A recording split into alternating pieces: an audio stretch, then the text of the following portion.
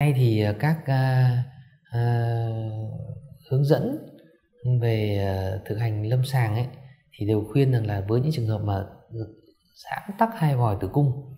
uh, thì cái phương pháp điều trị đầu tiên là nên mổ nội soi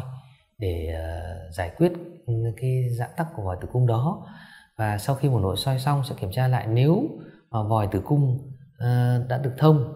uh, bình thường thì có thể làm uh, bơm tinh trùng lọc dầu buồng tử cung hay là phương pháp IUI được và có thể thành công. Còn nếu mà bị uh, tắc lại hoặc là vì vấn đề gì đó kèm theo thì có thể là chuyển sang phương pháp điều trị khác như là tinh ống nghiệm.